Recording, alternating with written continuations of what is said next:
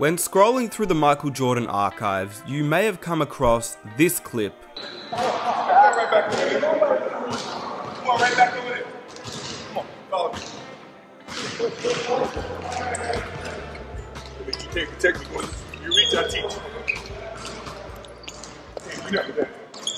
All day.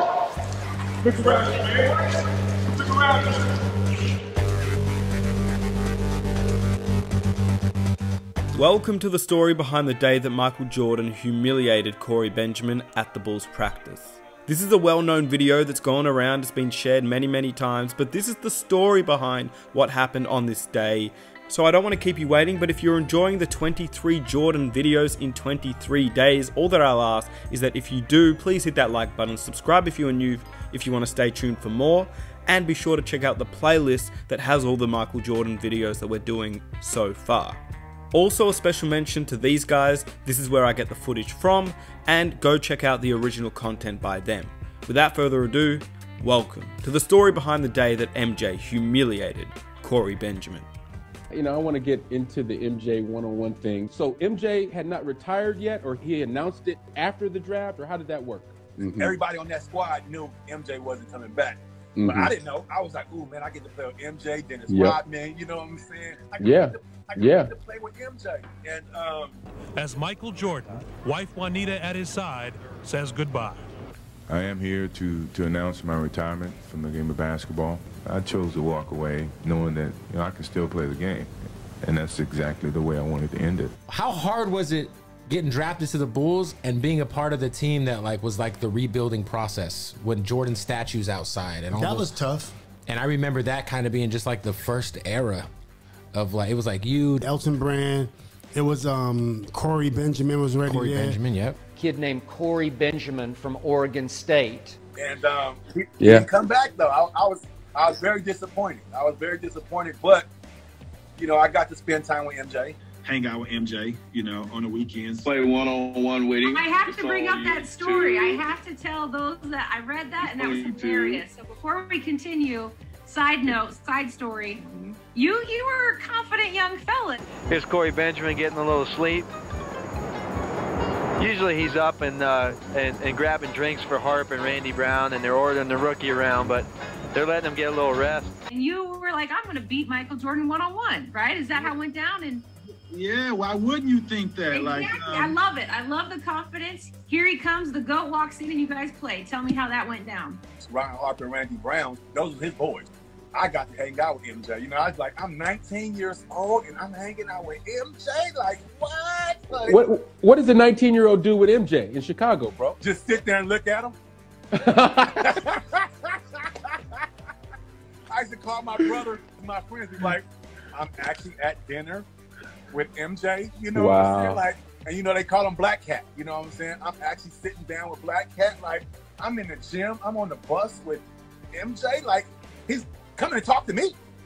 Like, dang. what type of stuff would you and Mike talk about, bro?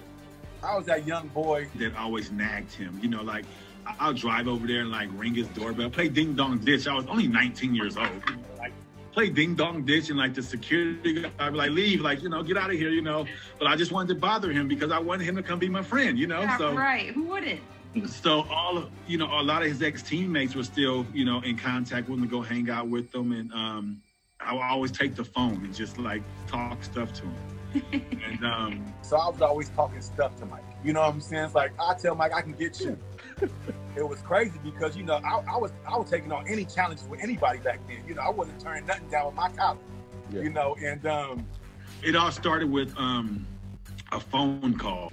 I just remember one day Ron Harper was on the telephone or something like that. He talking to Michael Jordan like every single day on the phone. So I grabbed the phone, talked to him, and he was talking or whatever. You know, a little confident 19, 20 year old kid. You believe you can't be beat. Especially he was an old man. You know, he, he asked me a question, and I said something about. He asked me a question about, do I think I can get him? I said absolutely yes. You know, like absolutely yes. So um, this conversation went on for about two weeks, and I I stuck to my guns. And you know, I said a little bit too much. What you say? What you say? What you say? I can get you. I can get you. Like, and he said, what? I said, yeah, I want that. He said, I, I see you. I said, okay. I'm like, yeah, right. MJ ain't gonna come get none of this. You know what I'm saying? Mhm. We planted, I think, DC. And um, we were like in DC, and And MJ was living in DC. he told me, I'm gonna come to the game and talk to you. The camera had showed up putting out this card. He wasn't there to watch the game. Man, they show this dude on the camera walking in. he had his own game. He had his own game that day. He had his own game plan was to come talk to me while I was getting taped for a game. I'm getting taped. He ain't coming there to talk to nobody. nobody. He coming to see me on the table. He walked in and said, What you say? I said, I can get that. Oh Talked to me for about 15 minutes and said, I'll see you tomorrow in Chicago. He said, All right, I'll be at your practice Monday morning. I'm like, Yeah, right. Man. I'm like, yeah, right. Who's gonna fly just to go play me? And he flew into Chicago. That is hilarious. We flew back to Chicago. We broke practice. Bulls on three. Bulls. And one day in November, early in the year, at the end of practice, guess who walks in the door unannounced? Guess who walked in the door?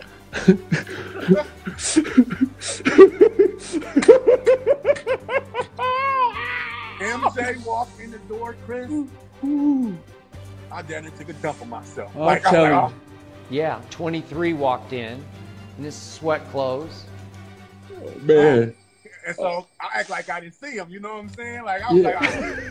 like, he said, "Corey, come back here." So Jordan took off his top, but he kept his bottoms on, his sweatpants on. Let's go. Everybody like, "Ooh!" I'm like, "Oh Lord, let me get some this." You know, let me get some. So And it felt like at that particular time I was a kid in the candy store. Oh, I'm sure. I was a kid in Pretty the cool. That's a pretty cool story. Michael Jordan destroyed poor Corey Benjamin. Even then, Jordan was tough to defend. I mean, the thing about Jordan was you knew what he was going to do. You knew what he was going to do. Oh! Oh! And he gonna he gonna get you or he gonna pull up. He gonna go left, pull up. Go fade right. And you knew it was coming. Oh wow, that's crazy. He just scored and scored and scored on him in, in every way, shape, and form imaginable. in the beginning, Chris, I'm in like a awe, like a, in a in a dream, like actually I'm playing against my idol. Yeah. You know what I'm saying so, you know, the first seven buckets, I'm looking like this. Yeah. He did. I want to be like Mike on me. You know what I'm saying? I'm looking like he really do this in real life. oh, oh, Oh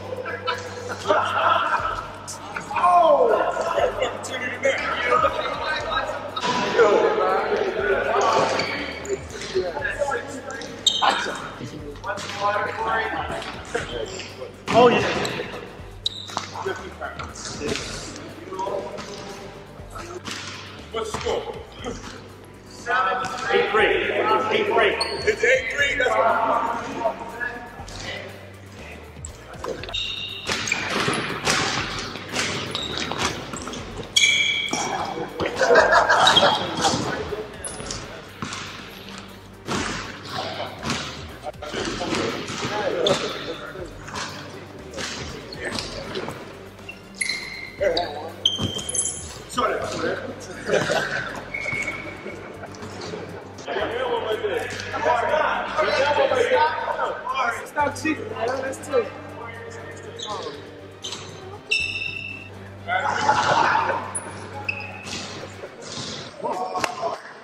Right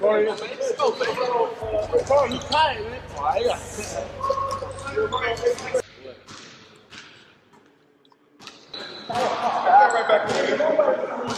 Come on, right back over there. Come on, follow me. You you reach, teach. All day. Look around you, man. Look around you. What you see when you see around you? Look. Look around you. You didn't have nothing to do with those.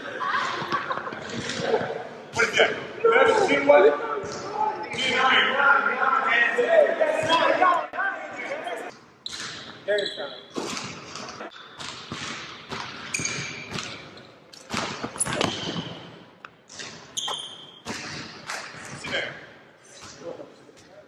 call me out of retirement.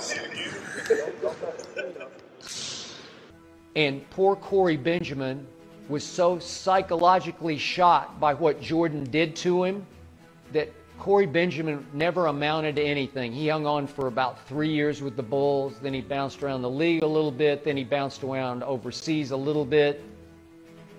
And he was out of sight, out of mind. And Jordan came over and told us in the media afterward that was a lesson.